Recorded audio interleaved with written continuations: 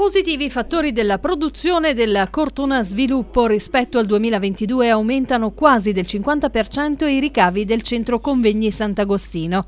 Cresce anche il mattatoio, pressoché stabili anche i ricavi dei servizi istituzionali, ovvero affissioni e cimiteri. Lancio positivo per il grandissimo lavoro che è stato fatto sia al mattatoio e sia al centro convegni Sant'Agostino.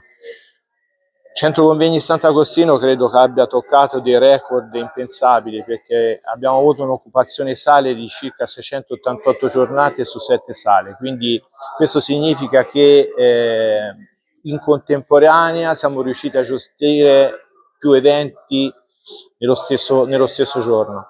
Tenete conto che tra ehm, le persone avute, le presenze avute all'interno che per manifestazioni fatte all'esterno, tipo il concerto, siamo quasi a 40.000 persone gestite, quindi è un successo veramente eccezionale. A far salire gli introiti del settore dedicato a fiere e convegni c'è la novità Cortona Comics.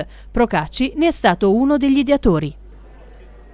Cortona Comics è veramente il nostro fiore all'occhiello, è una manifestazione che abbiamo voluto fortemente, sulla quale abbiamo lavorato tantissimo e eh, grazie al risultato ottenuto lo scorso anno siamo già pronti per uscire con eh, l'edizione 2024. La formula sarà sempre la stessa, due fine settimana per lasciare tutta la settimana intermedia a disposizione delle scuole della Scuola Internazionale del Comics e all'interno della settimana non può che mancare anche l'evento di un concerto con un artista di primo piano. È un bilancio, sono entusiasta, ma lo faccio a nome di tutta l'amministrazione comunale di Cortona per il bilancio da Cortona Sviluppo. Ringrazio il dottor Fabio Procacci, tutto il team eh, della società in house.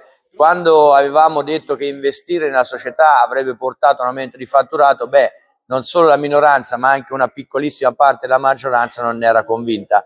Adesso abbiamo ottenuto un risultato eclatante che è quello di eh, avere un 30%, anzi un 31% più di fatturato eh, sul mattatoio che vede un trend più o meno mensile di 100.000 euro di fatturato. Siamo davvero orgogliosi e un aumento importante dell'utilizzo delle sale eh, a Sant'Agostino.